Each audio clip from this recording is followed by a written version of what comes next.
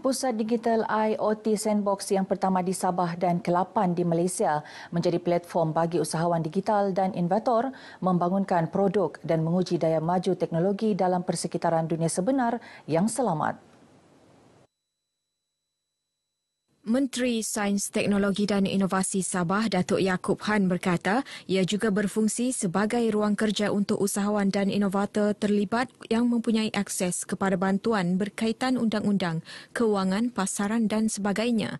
Kewujudan pusat digital ini dijangka akan mempercepatkan peralihan Sabah kepada ekonomi yang inovatif selain untuk mengenal pasti inovasi keluaran tempatan yang berdaya maju secara komersial di peringkat negeri Sabah ini kita mengadakan sandbox ini sebagai sebuah makmal di mana ianya akan kita untuk jadikan sebagai tempat uji kaji, pelaksanaan dan akhirnya pemasaran.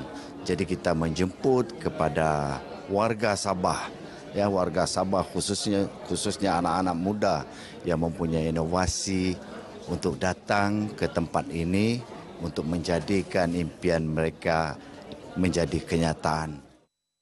Beliau berkata demikian kepada media selepas melancarkan pusat digital IoT Sandbox di Kota Kinabalu.